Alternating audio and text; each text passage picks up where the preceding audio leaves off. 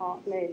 أنا كان عندي سؤال بالنسبة للحديث اللي هو من سن سنه آه، سنه سيئة يعني لو واحد هم في حاجة سيئة عاوز يعملها وما عملهاش. أيوه.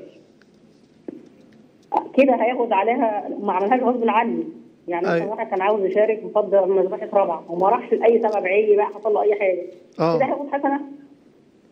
طيب يعني يعني هو يعني هو هم بعمل سيئة أو بعمل شيء وحش وبعد كده منع عن فعل هذا العمل مش بمزاجه غصب عنه صح؟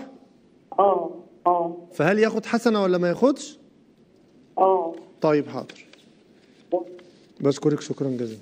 إيه يا شيخ عصام الموضوع. شوف دي عدة حالات. في حالة واحد هم بسيئة فكر وبعدين افتكر ربنا سبحانه فخاف فامتنع. أيوه. فدي تكتب له حسنة.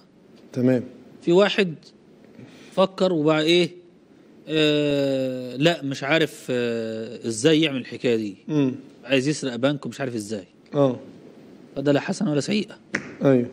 لا واحد راح وخطط وخ- وجاب معاه وشايل بيسأله الدنيا قام لا إيه بعد ما دخل البنك ما عرفش يفتح الخزنة. آه. ده سيئة حضرتك شالها. بدأ يعني راح اللي منعه إيه؟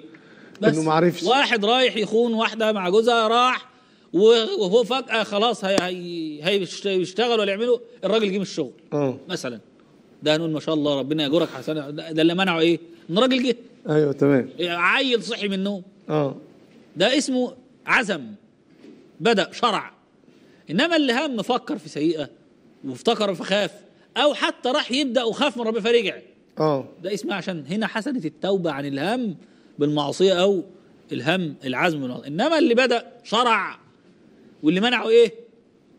بس فشله هو إن هو فشل يعمل العمل بس ده. ما كملتش معاه الخطة. آه. خلاص ده وزر شايله. تمام.